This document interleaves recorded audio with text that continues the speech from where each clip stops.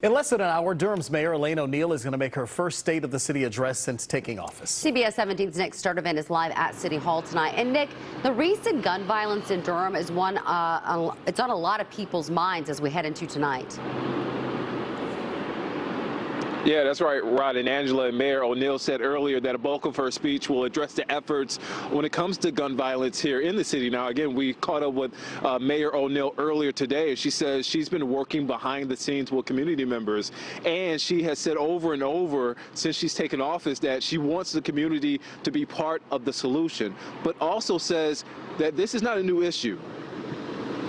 It is a work in progress, and I'll talk. I'll spend a little bit of time talking about how this is nothing new, especially not for me coming in the uh, coming from the judiciary. We have spikes, and this is a spike. And again, in about an hour, we will hear from Mayor O'Neill. City Council will meet right after her address.